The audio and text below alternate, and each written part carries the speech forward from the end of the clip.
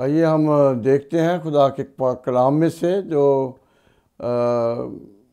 پیغامات دیے گئے ہیں خدا یسو مسیح کی پیدائش کے متعلق کہ ایک عظیم ہستی جب دنیا میں وجود میں آئی تو فرشتوں نے آ کر اس کی خوشخبری دی اور ایک فرشتہ جو کہ مریم کے پاس مقدسہ مریم کے پاس بھیجا گیا۔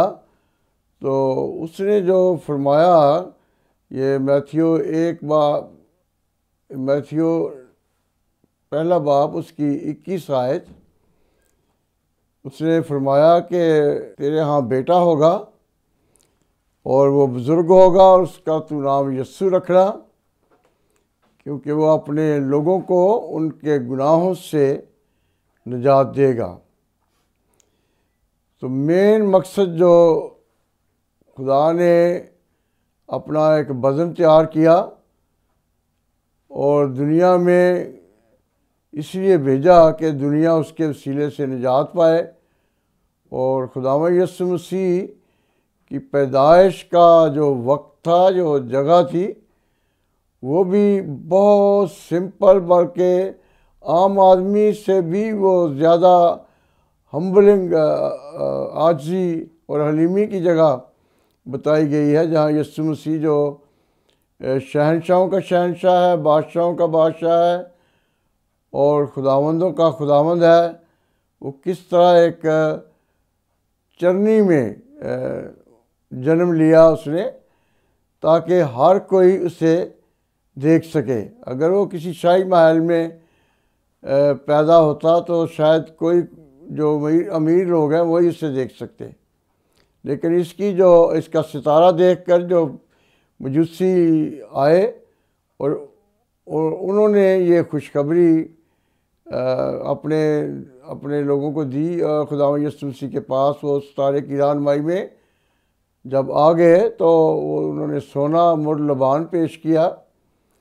تو اس موقع پر جو میں میں نے سبق سیکھا ہے کہ خداو یسو مسیح جو ایک عظیم ہستی تھی، جو جس کا اگر ہم اور بائبل کی کتابوں میں، خطوں میں دیکھیں تو وہ لکھا ہے کہ گو وہ خدا کے برابر تھا، لیکن اس نے خدا کے برابر ہونے کو قبضے میں رکھنے کی چیز نہ سمجھا۔ یہ فلپیاں دو بار سے میں بول رہا ہوں۔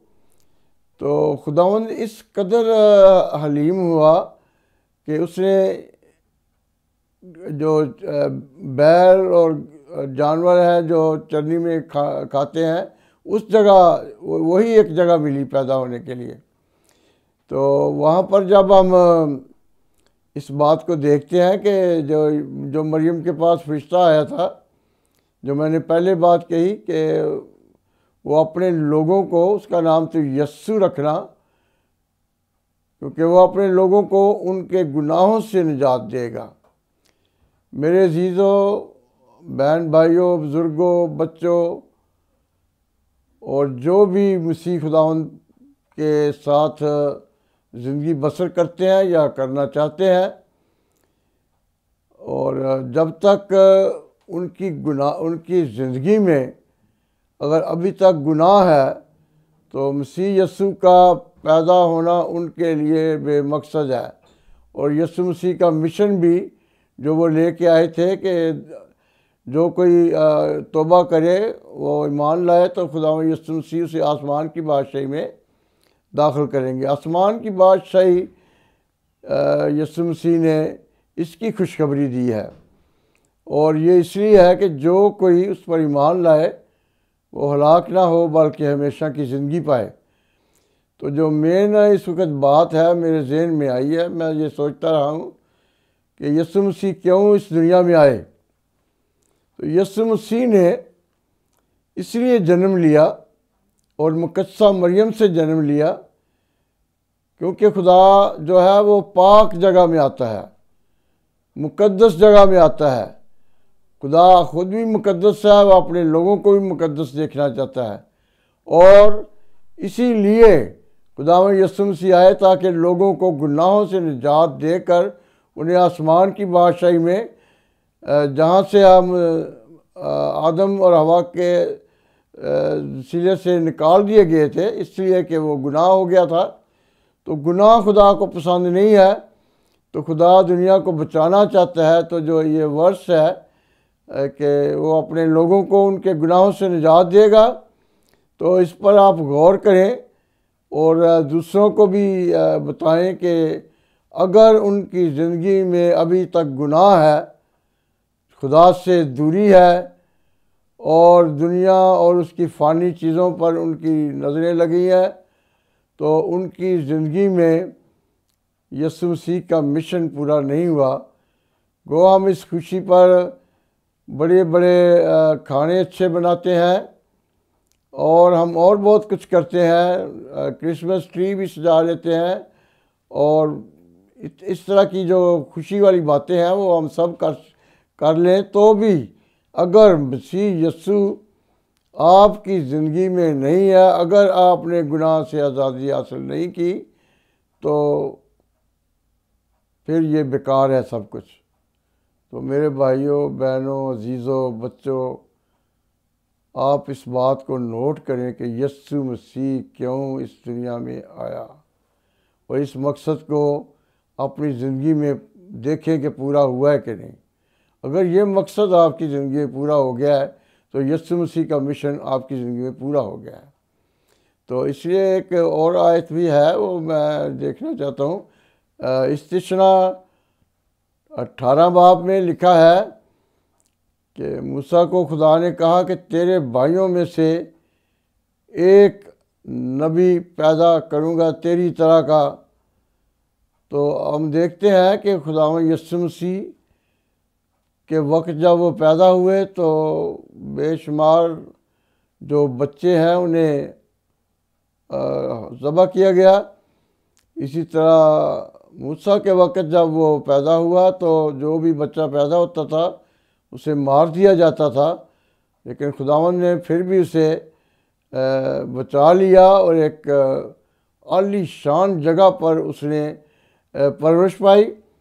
تو اسی طرح خداون یسو مسیح کے وقت بھی ایسا ہی ہوا کہ خدا جب حیرودیس کو پتہ چلتا ہے مجوسیوں کے ذریعے تو وہ بچوں کو جو دو سال سے دو سال تک کے تھے، انہیں مروا دینے کا آرڈر دے دیا گیا۔ لیکن یسو مسیح کو خدا نے بچا لیا، کیونکہ وہ دنیا کے لیے نجات کا وہ جو کام تھا، اسی مقصد کے لیے خدا یسم سی دنیا میں آیا۔ اور ہم دیکھتے ہیں کہ دنیا میں جب تک یسم سی رہے، دکھا ہے کہ لومڑیوں کے تو بٹ ہوتے ہیں اور ہوا کے پرندوں کے گھونسلے، اور ابن آدم کے لیے سر دھرنے کی جگہ نہیں۔ تو میرے عزیز و خدا مسیح نے یہ جسم رکھتے ہوئے بڑے دکھ کی زندگی گزار کے بڑی حلیمی سے تو اس مقصد تک پہنچے کہ انہیں سلیپ پر جان دینی پڑی۔ اور خدا مسیح نے سلیپ پر جانے سے پہلے یہ کہا تھا کہ جیسے موسیٰ نے سانپ کو بیابان میں اونچے پر چڑھایا، یہ لکھا ہوا ہے جنا کی انجیل تین باپ کی چودہ آج میں، اسی طرح ابن آدم بھی اونچے پر چڑھایا جائے گا تاکہ وہ کھینچ لے، سب کو کھینچ لے۔ اور جو کوئی مان لائے، جیسے موسیٰ کے وقت جو لوگ اس بلی پر لٹکائے ہوئے سانپ کی طرف، پیتل کے سانپ کی طرف دیکھتے تھے، تو ان کو ابلیس کا، سانپوں کا جو ڈنگ ہے، انہیں مار نہیں دیتا تھا، بلکہ وہ زندہ رہتے تھے۔ تو اسی لیے یسمسی نے یہ حوالہ دیا ہے کہ جو کوئی، میں ابن اعظم بھی اونچے پر چڑھایا جائے گا تاکہ جو کوئی اس کی طرف دیکھے گا، ایمان لائے گا، وہ ہلاک نہ ہوگا۔ بلکہ ہمیشہ کی زندگی پائے گا۔ تو ہم عزیزوں یہ سب چاہتے ہیں کہ ہم ہلاک نہ ہوں اور ہمیشہ کی زندگی، کثرت کی زندگی پائیں تو وہ صرف یسو مسیح دے سکتا ہے۔ ہمیں صرف اس کے پاس آنا ہے، ایمان لانا ہے، اس کی شریف کے دکھوں کو دیکھنا ہے کہ کس قدر ظلم و ستم سہ کر خدا یسو مسیح نے یہ نجات کا کام پورا کیا، کیونکہ وہ اسی لیے آیا تھا جیسا فرشتے نے کہا کہ وہ اپنے لوگوں کو ان کے گناہوں سے نجات دے گا۔ اور اگر یہ مقصد ہماری زندگی میں پورا ہو گیا ہے، تو یسو مسیح کا مشن بھی پورا ہو گیا ہے۔ اس کلام کے وسیلے سے جو میں نے ڈبلیو ویب ٹی وی کے ذریعے آپ تک پہنچایا ہے، خدا ان کو بھی برکت دے۔ تاکہ وہ اور زیادہ اس کام کو ویب ٹی وی کے ذریعے سنا سکیں تاکہ دنیا میں مسیح یسو کے آنے کا مقصد جو ہے، وہ سب تک پہنچ سکے۔ تاکہ کسی کو عذر نہ ہو۔ تو یسو مسیح نے کہا تھا کہ جب تک زمین کی حدوں تک یہ کلام نہیں سنایا جائے گا، جب تک مسیح کا آنا نہیں ہوگا۔